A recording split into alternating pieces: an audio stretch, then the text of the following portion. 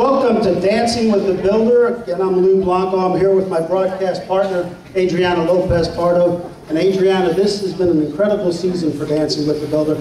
We have had so much controversy between Ann Hagen and Meredith and Marion McGrath, and then all the drama that Rick Jennings has caused us. I've heard it's been a lot.